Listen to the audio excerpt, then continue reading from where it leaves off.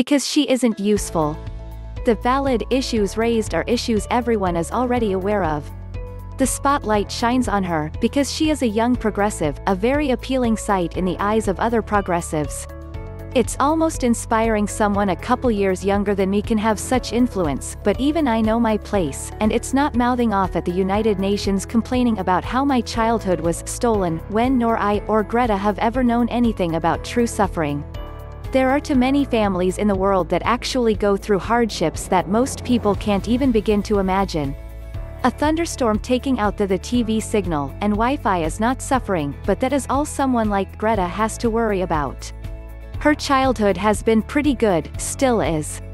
Here she is, this spoiled rotten teenager, on a train, eating delectable food delivered to her. What has she ever known about suffering?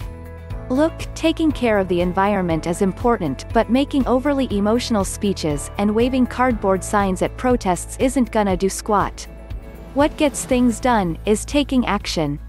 In India, a man by the name of Jadav Payeng, planted trees in a desert every day for 40 years. The YouTuber Mr. Beast created a fundraiser that planted 20 million trees. Rajendra Singh, founded an organization that has created over 8,000 johads, and other types of water conservation structures to collect rainwater for dry seasons.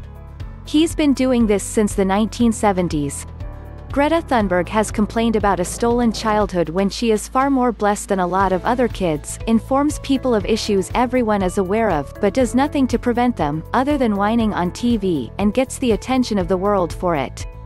In Greta's infamous speech to the UN, she speaks about empty words. How is she any different? Until she starts making real change, she is no different than a politician.